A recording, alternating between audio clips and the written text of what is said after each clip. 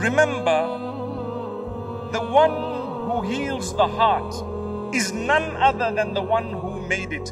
In fact, nobody, nothing, whether it is material or in the form of people, can ever heal your heart.